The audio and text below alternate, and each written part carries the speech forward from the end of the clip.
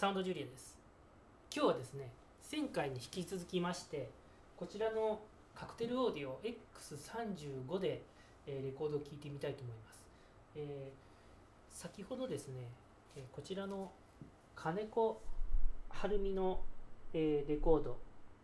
スペシャルメニューというレコードなんですがこれはあのサザンの桑田佳祐の曲を、え歌っているレコードになるんですがこちらの、B 面の3曲目を、え録音しました、えレコードプレイヤーは前と同じでエラックの、えミラコード90を使用しております。そしてこちらのカクテルオーディオの内蔵ホノイコを、え使用しましてえこの機器内のストレージに、え録音しました。で今からですねこちらの X35 のプリパワー機能を使って、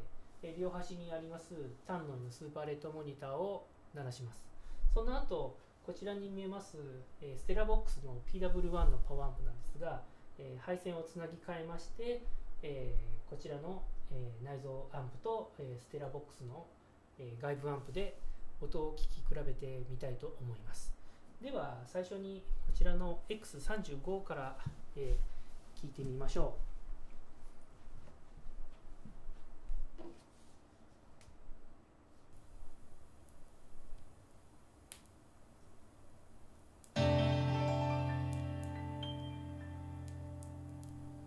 Every story must come to the story's end. Every story must come to the story's end.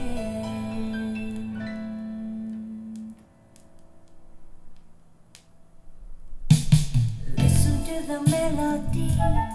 the tune is haunting my memory. To the melody, the song is telling back my history. Listen to the melody,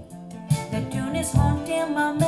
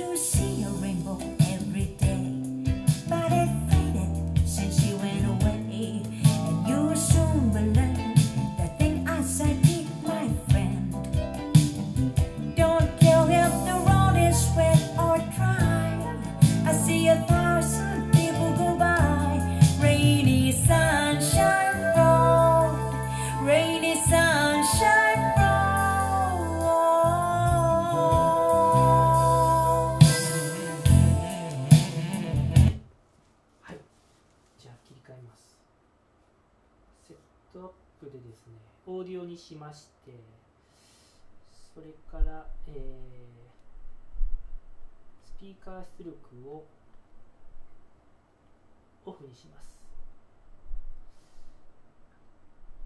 それでアナログ出力は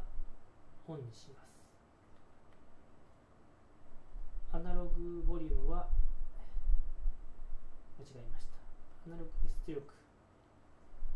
アナログ出力ボリュームは可変。これで、えー設定終わりです。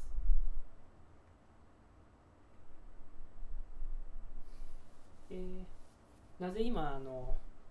セットアップでいじったかっていうと必要ないところはオフにしておいた方が音質が良好ですのでちょっとオフにしました、えーじゃあ切り替えます。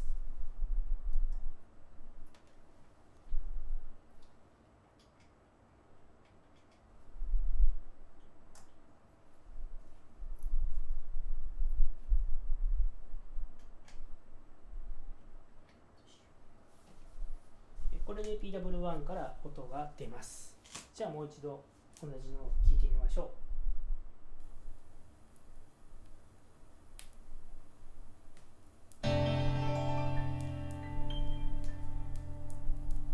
Every story must come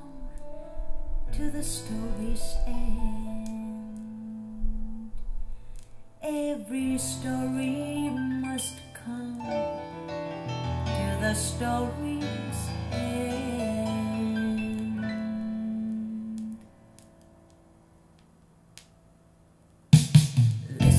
the melody, the tune is haunting my memory. Listen to the melody, the song is telling back my history. Listen to the melody, the tune is haunting my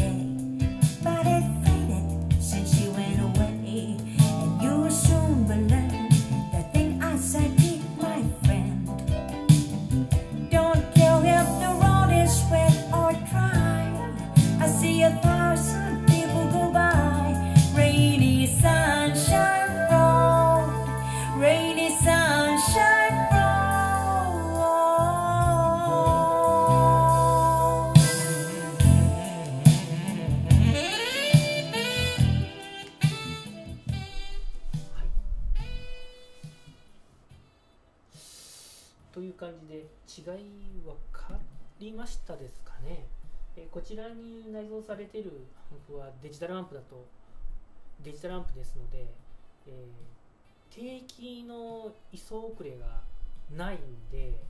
ちょっと定期の量感が少なく聞こえるかもしれないんですけれど